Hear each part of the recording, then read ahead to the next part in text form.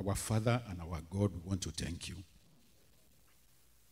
We bless your name for whom you are. We thank you because your spirit is here. We thank you, O God, because you give and you provide. We bless your holy name for wisdom, knowledge, and understanding. We thank you because your well of knowledge never dries. Glory, honor, and adoration be unto your name. My Lord and my God, I commit my tongue and my mouth into your hand that we make it as a ready pen of a pen writer, that I will declare your word today in season, in the name of Jesus. That people that hear me, oh God, they will not go the same way they have come. In the precious name of Jesus, we glorify your holy name. Lord, I commit this venue into your hand to the north, to the east, and west, and the south. And I say, Lord, take preeminence, take total control. Let your angels be on guard. Let your people receive from the throne of grace. In the name of Jesus Christ of Nazareth. Thank you, Jesus Christ. In Jesus' mighty name, we have prayed. Amen. Amen. Amen. In Jesus' name. I want to appreciate especially those who taught me fit to be a teacher here today, not minding that I'm a teacher at WBI, Wosem Bible Institute. I'm happy when I heard Pastor Sam teaching because I have this fight within my spirit that remember, Bosun, you're going to be talking to people in the convention. You might not be at home you know, with your high valuing grammar, conceptual framework that you might be bringing forth. But you know, my job is made easier with what I heard Pastor Sam saying. He did not teach only as a preacher or a theologian. I can see a mixture of psychology and theology and biblical teaching in what he did. So I'm going to be riding on his back. Praise the name of the Lord. You will begin to understand what I meant. Our language may not be too different. I'm also happy for one thing. I'm going to be happy on just one word for about six or eight pages of document I want to share with you. Attitude. Can everybody chorus it? Attitude. Can we say it again? Attitude. Let's say it once more. Attitude. By the grace of God, I discovered that anything you want to be or you want to become on this planet Earth start and ends with your attitude. So I'm not surprised by the planners of this convention or whoever are the organizers and the way they share the topic that they wanted me to talk about attitude as impediment. Pastor Sam dealt a lot with impediment. I'm going to be staying on my lane. Attitude as impediment. And we'll be using Prophet Jonah as our test case. Praise the name of the Lord. Praise the name of the Lord. You know, attitude spans across so many scholastic regions. It covers so many base areas of knowledge, but I'm going to be dealing with four or five this morning. So please write profusely if you can, jot things down. In human development, those that knows about social sciences, attitude is a general and long-lasting positive or negative opinion or a feeling about a person, about an object, about a problem. It develops through our direct experiences, our social influence, or our media exposure. That's how you get the type of attitude you are showing. Most of the time, attitude are your direct experiences.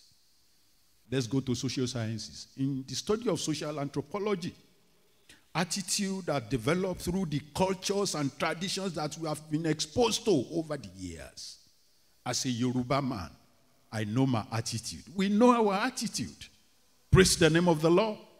Some of our attitude are in complete alignment with what we find ourselves in this Western Hemisphere.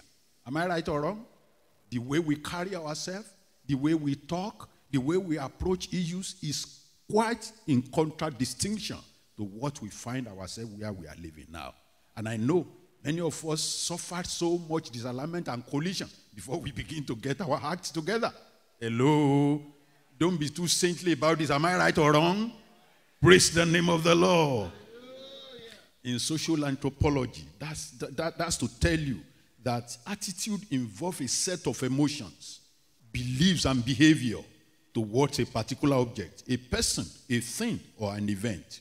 So, in summary, as anthropologists will tell you, it is the way you think, it is the way you perceive, it is the way you feel, but on a permanent basis in relation to something, and it greatly influences the behavior of you, you, that person, to the stimulus that you see, to the environment that you find yourself. So, your attitude may be negative, it might be positive. Praise the name of the Lord. In linguistics, I'm going to weave everything together, don't worry. We need to go to the root word of the word attitude. In terms of etymology, the root word for attitude is taken from a Latin word, aptus, A P T U S. And it simply means in English language, ability. So you can see, attitude is more than you think. It is more than what people call behavior. It is more than what people call disposition. It is inbuilt, it is your ability. Sometimes it is internal. So, our established way of thinking or feeling which is reflected in our behaviors towards others, is called attitude. It is the built inbuilt tendency we have that is making us to respond to, uh, to certain stimulus in different ways.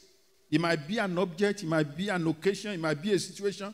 When some people put up certain attitude to you, you begin to wonder, is it more than this? You know that Yoruba word, kilagbe kilaju. What's going on? Praise the Lord.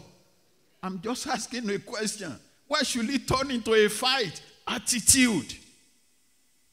Praise the Lord. It also influences our choices, our actions, our likes, and our dislikes. It is what we believe in, especially when we come into the, into the subject of faith. Attitude is what we believe in.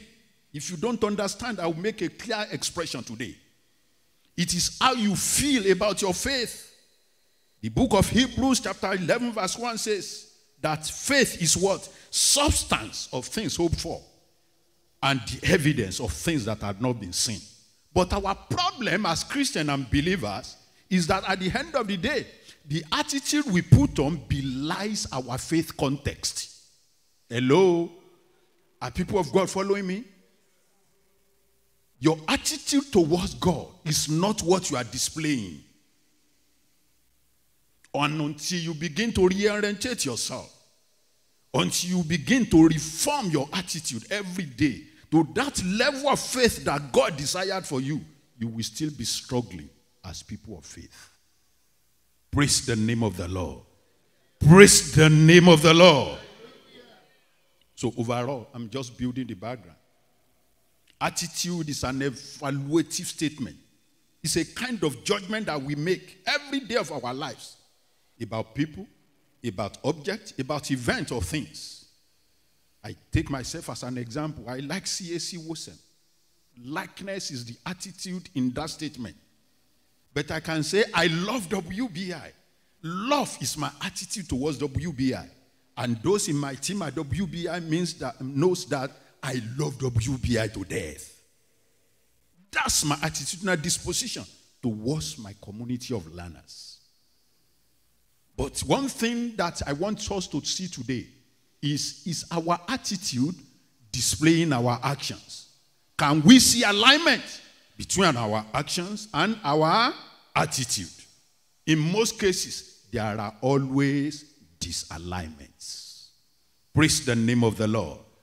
Praise the name of the Lord. And I need you to be following me right now. Because, like I told you, attitude are inbuilt tendencies and they will determine or influence your values. Either you are a minister, either you are a child of God, either you are just coming Christian, a nominal Christian, or a staunch Christian at that point, you know, your attitude will determine what you will do for God. So, the irony of the challenge is this yes, you can see my, you know, outward dis- uh, disposition you can see my behavior, you can see my character. but can you know what is inside of me as my attitude? Hello? That's why you see some people praise the name of the Lord in front of their ministers. They are lawyer, eye service members, but inside of them, they are killers. They are rebellious. Hello, people of God. See, they don't want to answer me anymore. Praise the name of the Lord. Praise the name of the Lord. They are always standing against each other because we fail to realize that attitude is great to our journey of faith. I remember, I wasn't, I, I was very young, but I remember the song, especially in southwestern Nigeria. You know, Action Group, NCNC, Nigeria Council for Cameroons and Northern so so so so. You know those parties? And the AG people has a song that they normally sing. Borinu mi, orokan mi. It means, very simple, I may not tell you that I don't belong to NCNC, but inside of me, I know I'm a touch member of Action Group. Praise the name of the Lord. That's how attitude works. Attitude is so silent that when people behave or carry themselves unto you, you think they are saints. You think they are angelic. But inside of them, they are devils that you should run away from. Is somebody catching my point today? Praise the name of the Lord. Praise the name of the Lord. And I'm going to explain it on three tripod, on a tripod point. Attitude is built on three major pillars. Number one, Pastor Sam said it, emotion.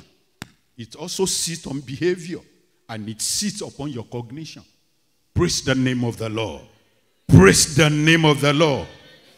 Cognitive part of attitude is your opinion or belief statement about anything. You can believe stuff, you can say stuff, it resides here in your frontal uh, uh, part of your brain. That's where cognition resides. Praise the name of the Lord. But if it comes to affection, that is the emotion that Pastor Sam was talking about. You can feel it, we can see it. Do you know that uh, in Yoruba land, again, I'm sorry to be using this example, it was because I grew up there. They will be telling you that, shut up, this woman, Asukun Paro, Asukun Wijo Obìnrin Pa. Praise the name of the Lord. She was just crying to make a case unto you, but she's a blatant liar. What you see outside is not what is happening between her and the husband. Praise God. Praise the Lord. I'm sorry, I'm using women as example. You better say hallelujah. Praise the name of the Lord. The one that is mostly seen is behavior, our outward physical exhibition, which fools people all of the time. It's just a display, it's not the real one. You know, in the book of Isaiah that was given as part of our central text, Isaiah 54, verse 17, you know, God presents us with his prophetic assurance that he's more than able to remove every form of impediment against our achievement. On the contrary, I'm going to be going to Prophet Jonah's test case now. His own case involves us to be aware. He's inviting us to be aware of the attitude we possess, which can impede the program of God for our lives. I want you to please follow me carefully now. Either as ministers that you are seated here, either as a worker in ministry, we need to extract what happened to Prophet Jonah so that we understand the meaning of attitude as impediment. Praise the name of the Lord. Praise the name of the Lord. So, this will give us a reflective opportunity as ministers, as workers, and children of God to carefully explore and investigate our attitude to the work of God. That's the reason why I'm here today. You may be doing it somewhere else or somehow else, but let us look at it today with the lens of Jonah. From this point, I need you to start looking at your offerings, at your ministerial services from the lens of Prophet Jonah. And I'm very sorry if I'm coming this way. I know I have senior pastors here. I know I have senior ministers here, but this is the word of God. Just take me as I am. That's what the Spirit is telling me to tell you. Praise the name of the Lord. Praise the name of the Lord. If you look at the background to the book of Jonah in itself in the Bible, he was a prophet from Gath Hepher, H E P H E R. It's a village in, in Nazareth, Israel. And Bible history records that the book of Jonah was written around 760 BC. Incredibly, listen to this. Research showed that God had highly given Jonah the privilege of delivering good news that Israel will experience time of safety and prosperity. You can go into the book of Second Kings and see that. I may not be able to give you a chance to read. Second Kings 14 25. That was during the reign of Jeroboam II, 790 to 749 BC. Praise the name of the Lord. That Jeroboam the second is different from Jeroboam the one. There are two Jeroboams, kings in the Bible. You know? So, what I'm trying to do here, before I go into the book of Jonah, is the fact that Jonah knows God. So, what we saw him doing in the book of Jonah is unlike Jonah that we knew before. And just like Pastor Sam warned us this morning, most of our problems that acted as impediment, they are right in our history. Can you say history? Genealogy. Can you say genealogy? Lineage. Can you say lineage? It's right there. There is a need for consecutive investigation. And this is telling me again, especially for Christians that are hearing me all over the world, there is always a connection between the Old and the New Testament. Just to suffice for us to know and say that indeed the Bible is a complete story. I, you know, I marvel and I was, I'm surprised when some people will be calling themselves New Testament church, Old Testament church. Who are they deceiving? They're deceiving themselves. The word of God is one and the same from Genesis to Revelation. Praise the name of the Lord. Praise the name of the Lord. Now let's bring it home because we're going to be asking ourselves some soul searching questions. What is your attitude to life? You don't need to answer me. Just listen very carefully. What is your attitude to life? It is either you are a grateful creature of God, showing gratitude every day, that by smelling the aura of morning time, you know that God has been good to you. No matter what you have passed through in the night before. It is either the attitude of ingratitude, attitude of ingratitude. I'm not repeating myself, it's not tautology It's either attitude of complaint. No matter what God does for some people, it's always Oliver Twist. Father, do me this, do me that. Praise the name of the Lord. Number two, what is your attitude to giving? I'm just citing some, eh, some instances. Are you a generous person? Are you open handed? Are you miserly? Are you stingy? Answer yourself. Are you tight fisted? Nothing can come out of your hand. Every time is just to lay bare your hand to receive from people. Search yourself, people of God. Number three, what is your attitude to God's work? In the book of Mark, chapter 3, verses 1 to 6, like I said, I may not have the luxury of uh, uh, having you to read the Bible portion. You know, Jesus, he exposed the attitude of the religious leader of his time. They were fighting him for doing what? For doing miracles. Whereas what he was doing is to set the people of God into liberty. There are people like that that do not want you to see what God has in stock for you in terms of goodness. Do you know that there are ministers like that? Hello, people of God. Do you know that there, there are career prophets like that? Especially if you get hooked to them. Instead of going with one problem to them, they had 10 so that you can come perpetually. Praise the name of the Lord. Praise the name of the Lord. Finally, what is your attitude to constituted authority? Whether government, whether church, whether workplace, anywhere where you have to report. What is your attitude? Are you lawyer? Like I said, or you just do eye service? Praise the name of the Lord. Outward obedience, but internal rebellion. Let's do a little bit of content analysis. I love to do this because the Bible is very rich. And we're going to be dealing only with the book of Jonah. In chapter 1, it's just a summary. We read of the first call of God unto Jonah. We read about his disobedience. We read about his attitude of adversity for souls at Nineveh. Remember that God wanted him to go and preach so that the people of God can be delivered from their evil ways. He was adverse to that, opposed to that. He did not like the plan of redemption of God for his people. Ah. We saw the consequences of his disobedience, including the adversity that is caused for other passengers. You remember in the boat? Instead of going to Nineveh, he boarded the ship going to Tarshish and it caused them problem. People were, you know, were crying in the boat. There were businessmen that were going to lose a lot of fortune. They all said, oh, can, can we ask you, this man, where are you from? What is your work? You are just sleeping in the midst of this calamity. Who are you, by the way? Praise the name of the Lord.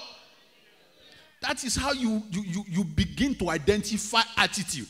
Can we repeat it again? attitude. When we are running helter skelter, let us do evangelism. That is when you want to go to bed and sleep. Ah, it is dangerous. It is contrary to our mission. Praise the name of the Lord.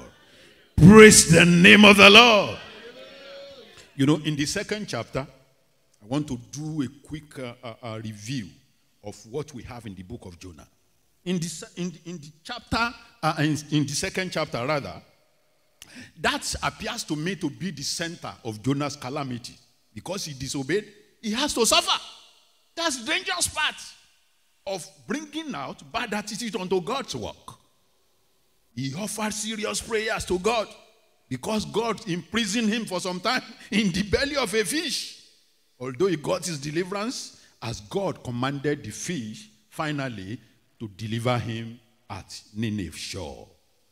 You know, when you go into the book of Jonah, chapter 2, verses 1 to 9, I, I think verses 7 and 8 actually catch my fancy. When he was praying, as if he doesn't know what he did, he said, When my soul fainted within me, I remember the Lord, and my prayer went up unto you into your holy temple. Those who regard worthless idols. Ah, they forsake their own mercy. That's the word of Jonah.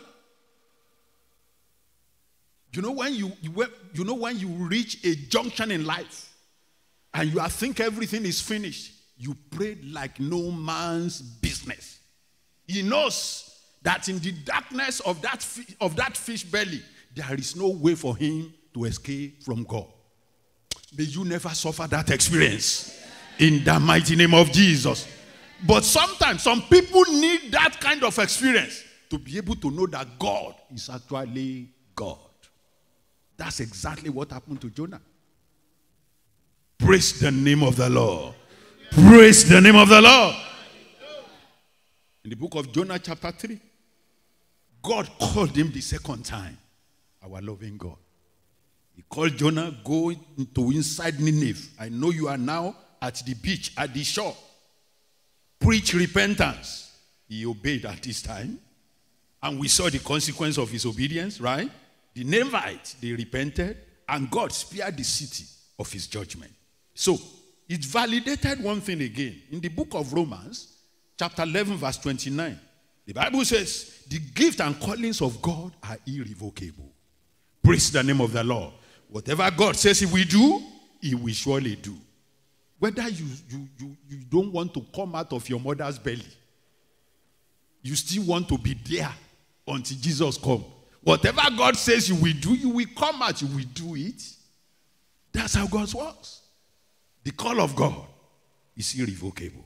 Praise the name of the Lord. And in this chapter 3, I saw our loving God. He is merciful.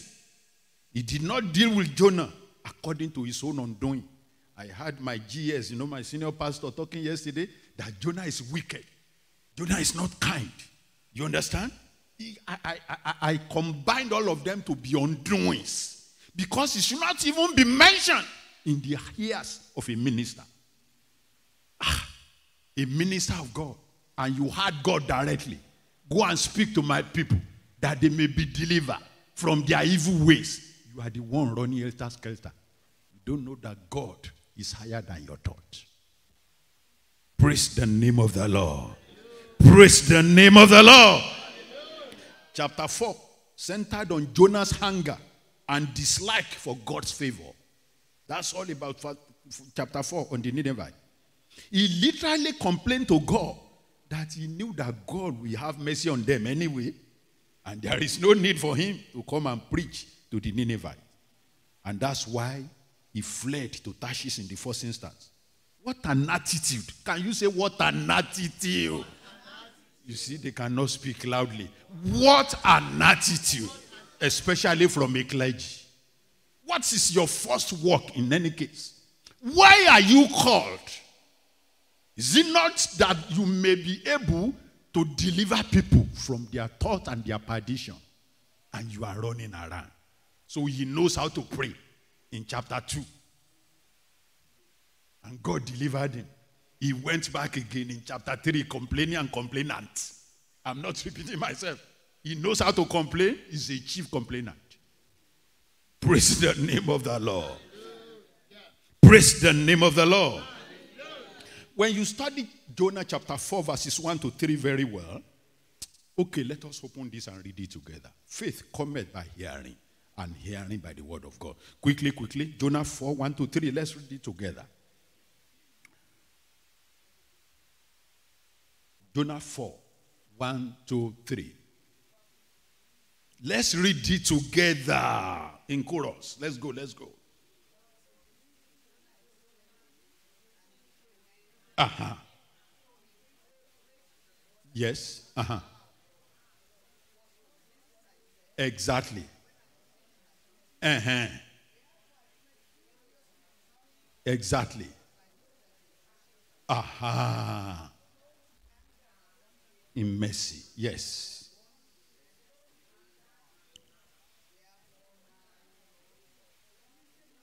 Ah. uh-huh.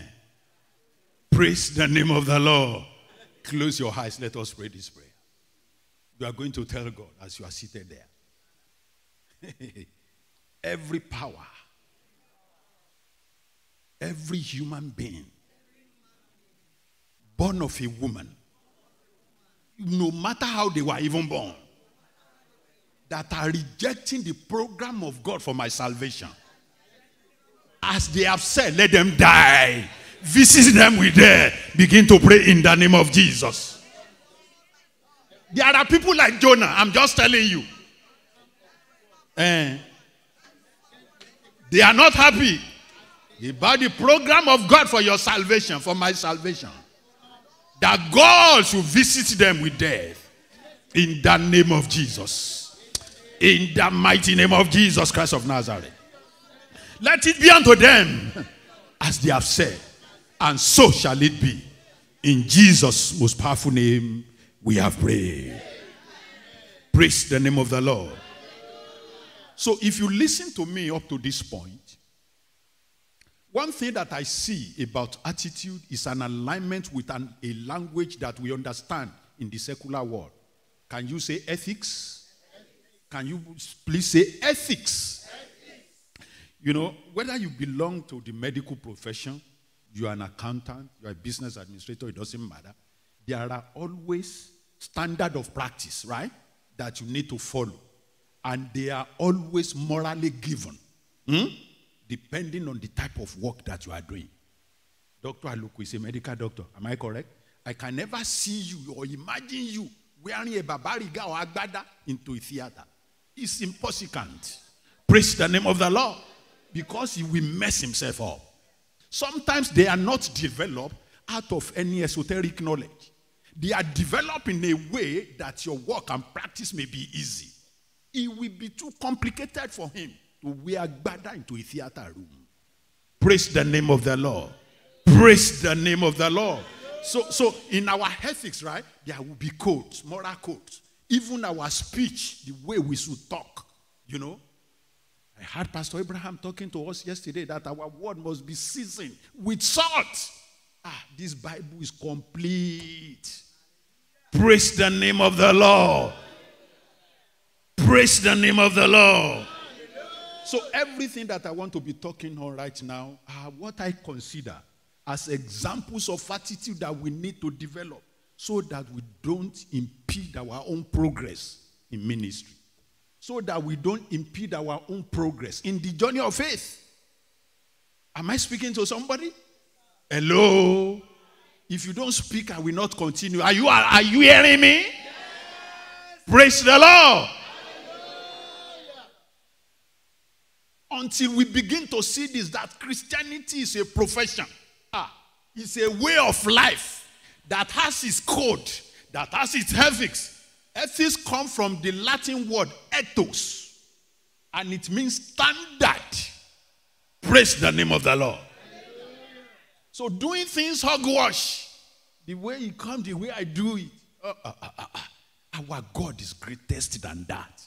I'm not saying greater, is greatest than that. Praise the name of the Lord. Praise the name of the Lord. Number one, desist from greed or avarice. You may be thinking, where are we landing ourselves now? Just follow me through. We're going to be on a shave shop greed or avarice, desist from personal aggrandizement, unlimited material acquisition, especially on the platform of ministry. Hello. Ministry is an institution established by God as a mystery to serve his people. It's not for your personal aggrandizement. It will not do you any good. And those who did not work for it will also inherit it at the end. That's what many people don't understand. Acquisition of wealth. I want to build house, cocoa house. Even here in New York, I want to build one in California. May you not just run and struggle to death in the name of Jesus. Is from that. Rather, as a wise man, I need to borrow you from the book of uh, Ecclesiastics right now. Ecclesiastes 11, 1 to 2 says, Cast your bread upon the waters, for you will find it after many days. Give a serving to seven, and also unto it, for you do not know what evil will be on the earth. Praise the name of the Lord. What does that mean? Scatter your possessions, give out. You don't know who we serve, and you don't know who you are bringing up. That's one thing. God is waiting to bless his people so that it will be a gateway for blessing so many other people. Praise the name of the Lord. No wonder that the Bible says we are the one who inherit, you know, the wealth of the Gentiles. The Bible knows what it's talking about. But of what use will it be to you if you are personally aggrandizing everything? Praise the name of the Lord. Don't be a talkative. Number two, it's as simple as that. Don't talk too much. Whether you are a minister, you are a grown Christian, you are a nominal Christian. In the multitude of talking, you will be led into sin. It's as simple as that. Please keep your mouth. If there is no need to talk, keep mute. And if there is opportunity to talk, talk less. In the book of First Timothy, chapter 1, verses 3 to 4, the senior apostle, Paul, was advising his, uh, his junior minister, Timothy, that look, remain in Ephesus. I just need you to teach Jesus centered sound doctrines. In, in theology, we call that Christology. Just teach about Jesus and his sound doctrine. Ensure that you desist from engaging in fables in endless genealogies, which causes dispute, which brings up questions rather than godly edification and faith. Many ministers, Many teachers, let us listen to this. Let us teach to exhort people of God. Don't let us teach in a way that we bring argument. Genealogy that you see there is argument that has no fruit, argument that is not productive, conversation that is not adding to the body of Christ. And that's what many ministers are engaging in. I wrote it here. These days, many ministers are becoming public speakers instead of preaching or acting as ministers of God. Dr. Akifeleye will tell you there is a course specifically for communications for leaders in our own Bible school. Because we have seen how people just come to the altar, talk trash, talk empty, nothing added, and they go. And we also give them an honorarium. Praise the name of the Lord. See, they are not, they are not shouting hallelujah. Shout hallelujah. Their message is divide of spirit infused words. They come up more with personal stories and experiences that does not exhort or encourage the people of God. In contrary to proclamation or declaring, which is the root word of preach, because that's what God has assigned us to do. Preach means exhort, build up, you know, declare my good news. What do they do to do? They stand to promote and they market their own secular abilities. That's what they are turning the altar of God to. May the Lord have mercy on us. In the precious name of Jesus. Number three. Remember, we are trying to build up some example of attitude that will impede, you know, that may impede, that will impede ministry, ministerial growth, our Christian growth. That's what I'm talking about. Losing the servant's heart is the third point. If you continue, you know, you should continue to ask God rather in your prayers and mutations every day. In your prayers and your meditations every day. Lord, do you still have a servant heart in me? I'm telling you, you need it.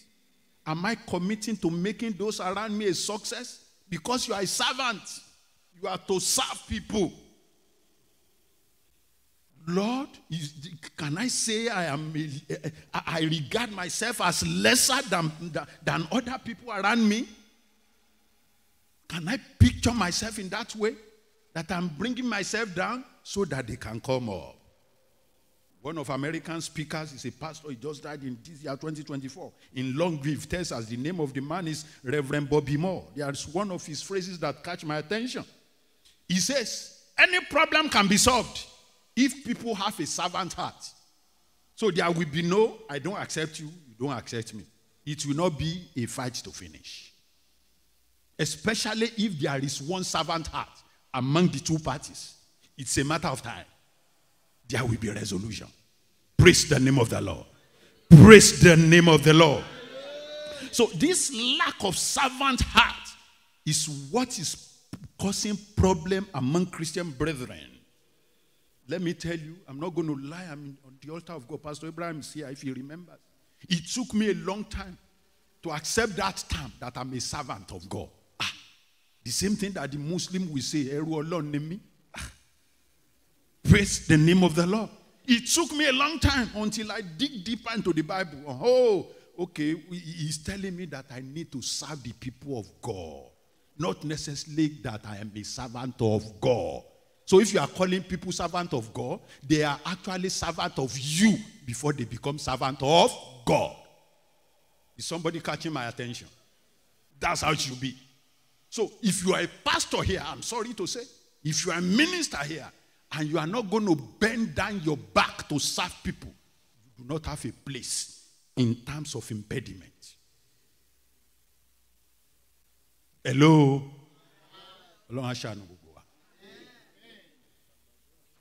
Praise the name of the Lord. Praise the name of the Lord. It took me a long time to accept that servant tag as a Christian minister. I, I, I brooded over it, meditated over it, mutated over it so many times. Ah, ah. At this day, servant, servant, again, abatun lọ sí ti mùsùlùmí náà ẹrú olúwa. Ah, servant. Praise the name of the Lord.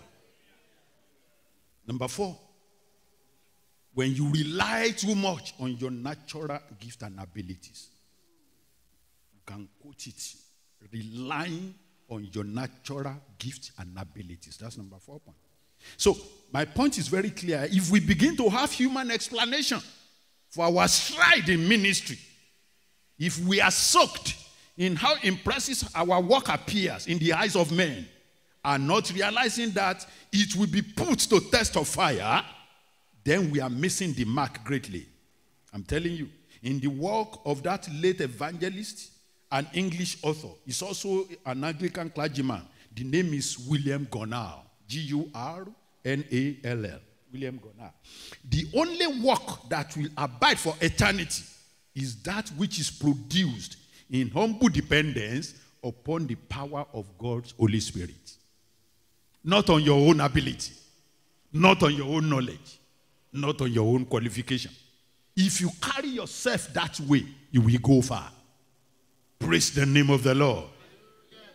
I have my note here. I said, no matter the avalanche of our natural tools, our resources, or our program, let the Spirit of God be our guide and let's give Him back the glory at all time. If we lose this perspective and we forget how big our God is, we will also become easily discouraged and frustrated. the same thing didn't happen to Elijah. He was telling God when he was running away from Jezebel that I am tired. I am the only one remaining in this city of Israel. Before God appeared to him in spirit, that no, there are more than thousands of you in this land that still carry my mantle. If you think you are at the center stage, watch it. Watch it. Can you say watch it? Watch it. Hey, if you think that you are you are high there, I'm repeating, watch it. Oswald Chambers is another respected 20th century Scottish Baptist uh, uh, uh, evangelist, and he's a teacher. And he won against this very well in his, in his book. Our mortal circumstances, listen to what he said. Our mortal circumstances are the means of manifesting how wonderfully perfect and extraordinarily pure the Son of God is. Because what? We are mortal. Our God is immortal. no matter our level of accomplishment, we must never forget how little we are in God's hand. There is a Bible portion that says God stays in heaven and is looking at us in this world just as grasshoppers. Can you say grasshopper? Uh, grasshopper.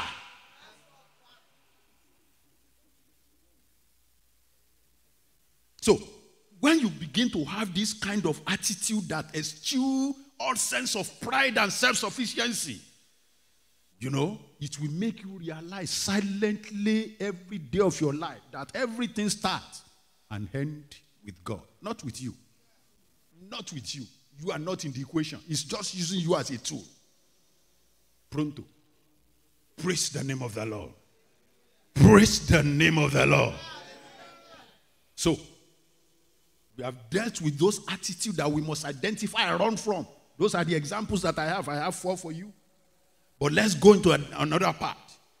The positive attitude that we should imbibe or build so that we can constitute ourselves, you know, uh, uh, so that we can begin to constitute ourselves from removing those impediments from our, our Christian faith. So I call it, you know, like a, a minister's ethical responsibilities. These are things you should be working on every day of your life. And I know God helping us, He will, he will get us there in the mighty name of Jesus. Number one, accept responsibilities to serve or minister from your heart. Can you beat your chest, please? Accept responsibilities to serve or minister from your heart without public recognition. Don't let them be calling you before you work for God. Oh. They don't mention my name. Pastor, don't call me. I'm not called into the meeting. But now you need to send an error. It is me that is his. Ah. Accept responsibilities to serve, to minister from your heart without waiting for any public recognition. Jesus is our example. When he was writing to the Philippians, Paul testified of Jesus in this way. In uh, chapter 2, verses 5 to 11, I know many of us know that verse very well. He said, Let this mind be in you. Again, you know, I told you that attitude is a thing of the mind. The frontal lobe of your brain, right? Is sitting there. That's how you think, that's how you are wired. Hmm? Let this mind be in you, which was also in Christ Jesus. Verse 6 Who being the form of God, he did not consider it robbery to be equal with God. But he made himself of no reputation, taking the form of a bond servant and coming in the likeness of men. You all know that Jesus is God, but he came like a man. And being found in appearance as a man, he humbled himself and he became obedient, even to the point of death, even the death on the cross. Therefore, can we say therefore? Therefore, can we say therefore? Therefore, once more, therefore, God has also exalted him and given him the name which is above every name. That at the name of Jesus, every knee should bow of those on earth, of those under the earth, and that every tongue should confess that Jesus Christ is Lord to the glory of God the Father. Praise the Lord. Humility is built in on this point. Please, don't be a Wuga minister. Let humility be written all over you. Imbibe it to the fullest. Number two, focus on your spiritual formation far higher than your personal charisma. Mm. Your spiritual formation, your closeness with God. Focus on that. Higher than personal charisma, your personal abilities. Earnestly, every day, seek the help of the Holy Spirit for guidance in your spiritual growth. Maintain a heart of devotion to the Lord. And when you have that point, when you have that kind of heart, you are subservient unto God. You are giving your heart to a higher heart than yours. Be consistent and above all, be intentional in prayer and in scriptural studies. Our work as minister is more than specialized knowledge, than our skill and abilities that we are blessed with or that we have acquired in this secular world. Test and grow more in the spiritual realm. That's why Paul advised the Corinthians. He said, Take captive of every thought and make it obedient make it obedient to Jesus Christ. Second Corinthians 10 5. Do you know, people of God, things that you have learned in the physical world, in the secular world, sometimes want to bring up some form of argument in your heart. That what, what is this saying? You know, with what I've known, with what I've studied. What is the Bible telling me here? You have to subdue it and be obedient to Christ. Sometimes it may sound illogical, but that's where God lies. Praise the name of the Lord. Praise the name of the Lord. In his letter to the, uh, to the Romans, Apostle Paul says, verses 5 to 8, For those who live according to flesh, they set their mind on the things of the flesh. But those who live according to the Spirit, the things of the Spirit. For to be carnally minded is death, but to be spiritually minded, spiritually minded is life and peace. Because the carnal mind is enmity against God. For it is not subject to the law of God, nor indeed can it be. So then, those who are in the flesh cannot please God. That's part of what Pastor Sam was teaching the morning. If we don't subject our spirit to the law and the realm of God, we are still going to be falling for the work of flesh. May the Lord deliver all of us. In the mighty name of Jesus. Number three, orderliness is key. I'm telling you. Orderliness, protocol, follow protocol. To your is key to your ministerial growth, is key to your Christian growth. In 1 Corinthians chapter 14, verse 10, Paul says, and he admonishes the church, you know, of Corinth, that all things must be done decently and in order.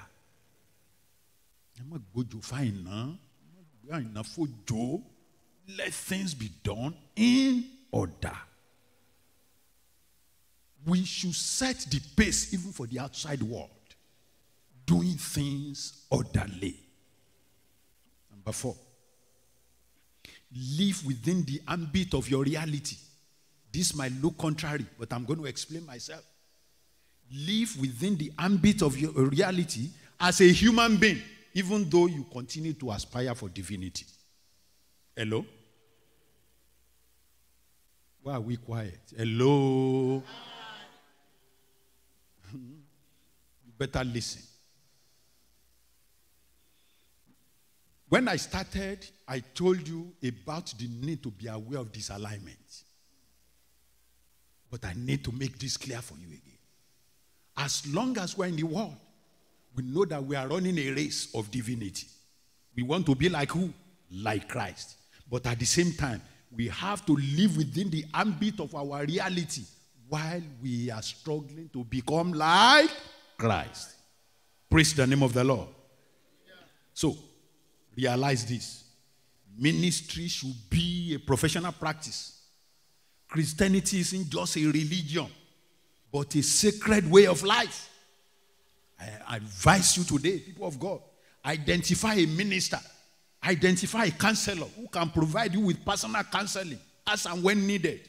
You are a human being. You carry blood and vein in your body.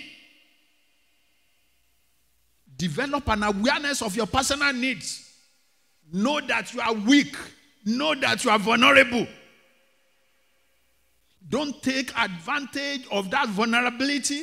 Don't exploit or manipulate. Address the misconduct of other sisters, other brothers in your church. There is nothing wrong with it. If you cannot do it, go to the clergy. Don't go to your pastor. If necessary, go through other appropriate means through which you can settle the conflict. But know that as long as you're on this earth, you are still a human being. So, you, you, do you know what that means again? Don't expect too much from your sister sitting with you. I'm telling you, don't expect perfection from him now, from your brother sitting down with you. It's still a work in progress. It's a project of God, and God will make it to fruition in the name of Jesus. If we begin to match those two realities together, I think we will be better sisters and brothers. Praise the name of the Lord. Praise the name of the Lord. Number five, be shepherd of God's flock that's put under your care. This is to our ministers. I'm sorry, like I said, as I was preparing, these are what are coming to me. Be real shepherd of God's flock under your care. Watch over them. That's the meaning of a shepherd. You know, not because you must, M U S T, but because you are willing. There are two different things. Be willing to be a shepherd of God's children. Praise God. It's not by compulsion. Let it be flowing from your heart to love them, to shepherd them. That's what God wants you to be. So, don't pursue dishonest gain. Be eager to serve. Don't lord it over them as the, as the world will lord it over their subjects. Hello.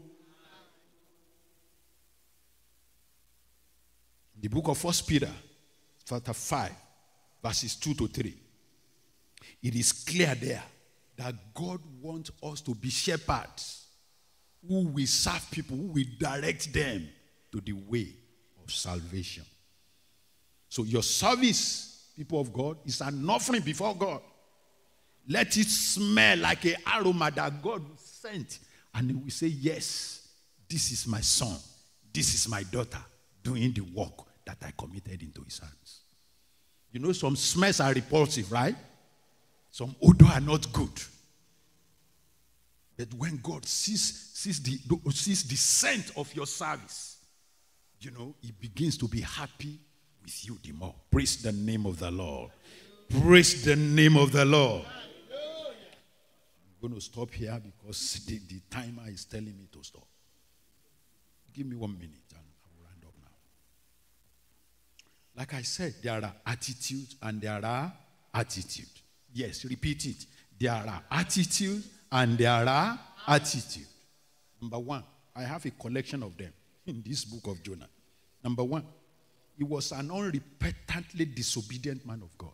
Despite that, he knew God. Oh. Hello? He knew God. Oh, you know how we speak in Nigeria for emphasis. He knew God. Oh, I trace it from Second Kings. But he was an unrepentantly disobedient man of God. In chapter 1, we saw his disobedience. We saw his adverse attitude for God's redemptive plan for the souls as Nineveh. In chapter 3, I also see repentance. It's another attitude from the Ninevites. As soon as they heard the preaching of Jonah, they did what? They all repented, even up to their king. The Bible says that they wore mournful dress, right? In those days, they would pour ashes on themselves just to show, you know, how distasteful their life has been to them. They did everything. And God did what? God also showed another attitude mercy and deliverance. Even though his plan for them is to clear them before. But because they repented, he showed them mercy. Praise the name of the Lord. In chapter 4, another attitude. We read of uh, uh, Jonah's hunger, right? It's an attitude. It's dislike for God's favor on the Ninevites. Also in chapter 4, I see another attitude. He's a complainant. Mm-hmm. He's complaining that he knows that God will favor them anyway, whether he goes there to preach or he doesn't go. And that's the same way. I need you to look at it from your own lens now. That you complain of virtually everything on this planet Earth. Complain, complain, and complain. No moment of gratitude unto God, your Creator. Praise the name of the Lord. Above all, another attitude. I saw God's loving character.